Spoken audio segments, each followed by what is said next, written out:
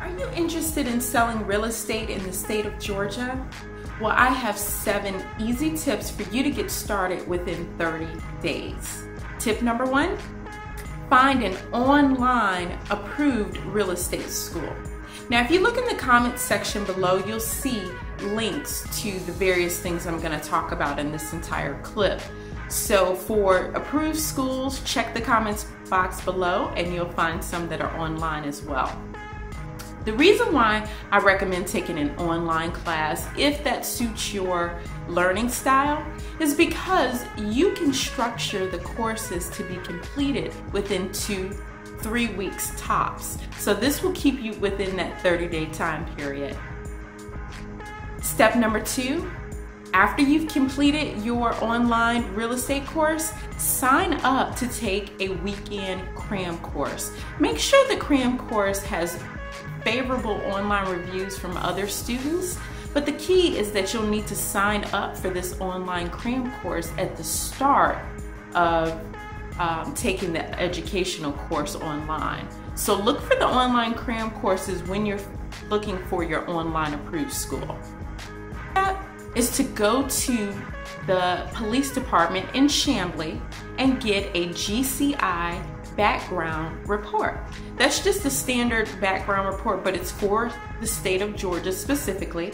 And the reason why I say to go to Chamblee is because their wait times are short and it's only $5.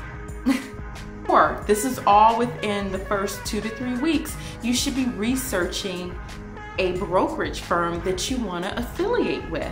You can do this while you are taking your CRAM course as well as while you're working on the educational requirements. Do this early and it'll make the process a lot smoother for you is register and take the state exam.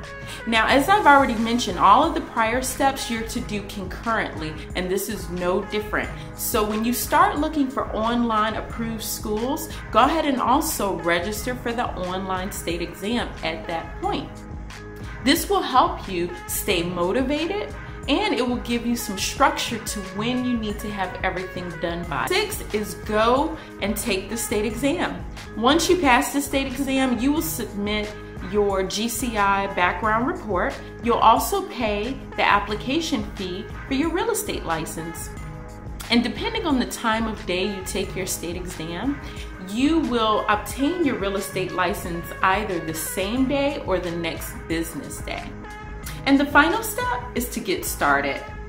Also, don't forget to take the post-license educational course because although you've gotten your license, you don't want to lose your license or lose your ability to sell. And in the state of Georgia, there are post-license courses that are required. So look in the comment box below and I'll put a link to the most recent information. Also, if you have questions on anything in this process, how do you find a brokerage? What criteria should you use? I have some free guides for you. I'll put those links below as well. Also, you can email me at info at agentsaroundatlanta.com with any questions you may have because I'm here to help. Here's to your success and have a great first year selling real estate.